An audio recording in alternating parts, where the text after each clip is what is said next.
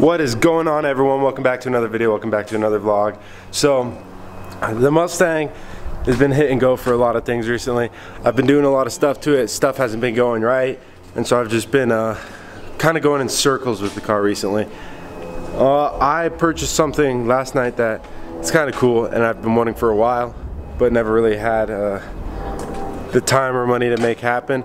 I've always, on um, both the three valves and this car I've always always always used rep wheels. Um, the only real wheels that I have were avant-garde wheels which I did have for this car that I had to um, they were made for something else and I had to rebore the center of the uh, wheels using a Dremel to make them work. So it was just complicated and I never really got the right wheels for the car. Anyway last night I found some wheels on Facebook Marketplace up in uh, Brighton which is northern Colorado area northern Denver metro area and uh, I went and I snagged them. I really like them.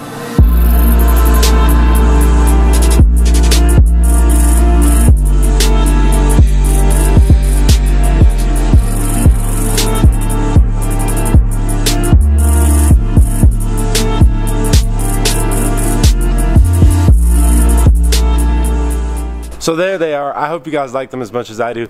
They're HRE FF01s and I got them for an incredible deal. I just had to pick them up. I used to have those SVE track wheels on the car and it was really hard to run those because the amount of camber was it was ridiculous and it was a squared 305 setup so what I did is I got rid of those and then I had stock PP1 wheels on there for a couple days that I wanted to kind of keep for winter time I guess and then I found these and just couldn't resist so I need to reinstall the stock hubs because to get the 305s to work, I had to use the three quarter inch spacer.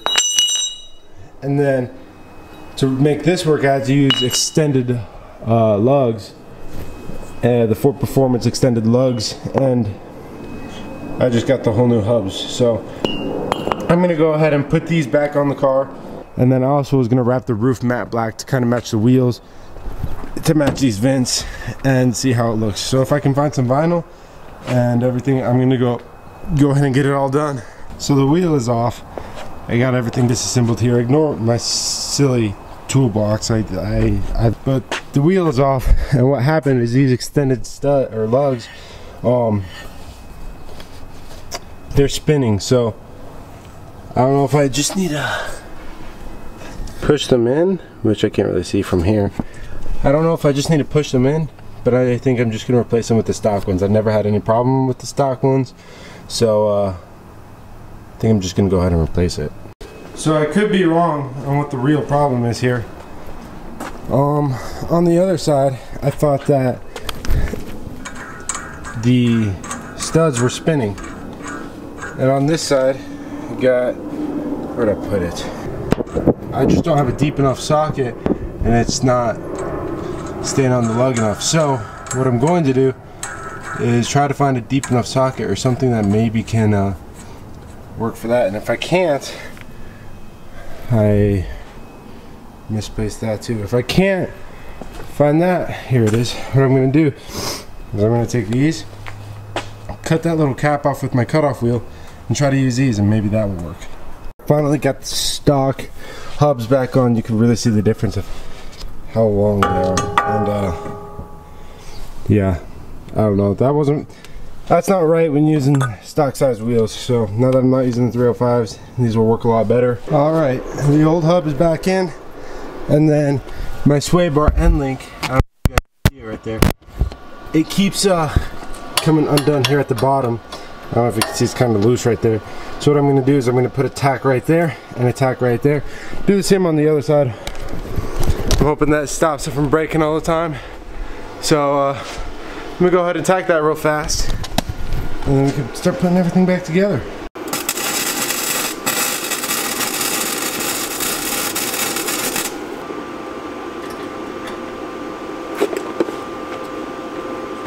That's it. This side is done. Let's get her back together.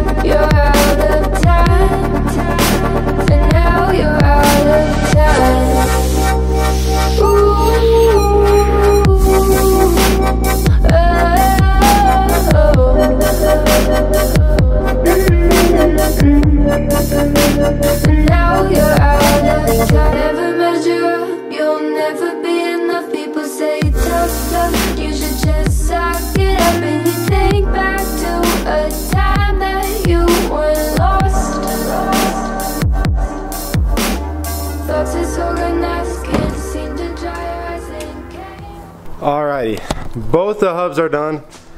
I got both the sway bar links in there. What's up guys? So it's a couple hours later. I've just been working on the car for the last couple hours trying to get it all set and done the way I like it.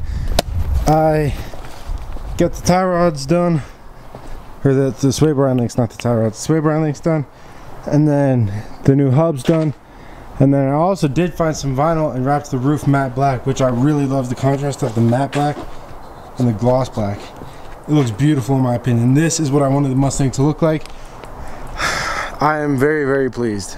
All I need now is some new fender liners, a new splitter, a new hood, and I'd be set for quite some time. So I'm very happy. The car looks incredible. I love, love, love the matte against the gloss. So finally in a good, good stage. In two weeks, about two weeks, so about a week and a half, we're gonna be heading down to Phoenix for the weekend. Uh, if you guys want to see any content down there, comment below. Let me know what kind of content you'd like to see. We're gonna go to some local car shows and do some fun things that I did down there. So I'm excited. Um, if you guys like today's video, please like. I know it was short, but I just wanted to uh, show you guys the current progress of the Stang, some things I've been doing to it. Make sure to subscribe. There's some crazy content coming up for this car. And then uh, for, for the channel in general. I got some big things I'm planning. So make sure to subscribe and stay on the lookout for those. Without further ado, see you guys next video. Peace.